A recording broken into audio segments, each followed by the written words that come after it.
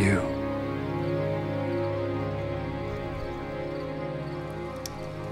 You are the ones who spoke to me from deep down at the bottom. Your light warm, weightless, shimmering.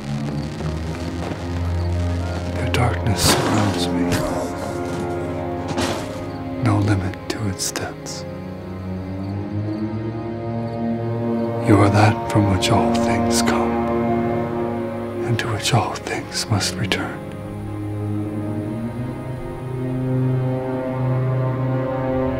That which I once was, but fear I am no longer.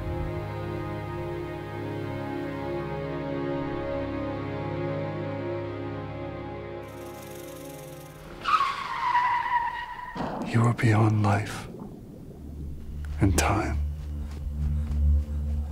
earthly stones and stars. I pray you don't find me now,